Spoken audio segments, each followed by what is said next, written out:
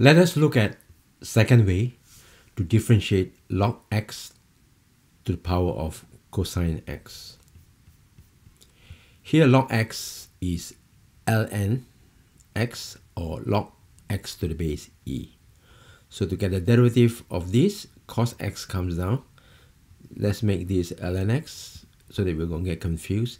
And the exponent will be cos x less 1 times the derivative of log uh, times the derivative of ln x is 1 over x plus uh, write this which is ln x to the power of cos x ln of the ln x times the derivative of cosine is negative sine x.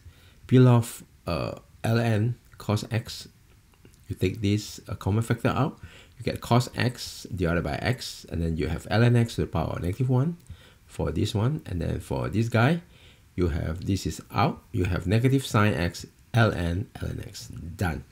Thank you for watching. Hope video is informative, helpful. Before you go, make sure you subscribe, share, comment, and don't forget to hit or smash the like button. See you.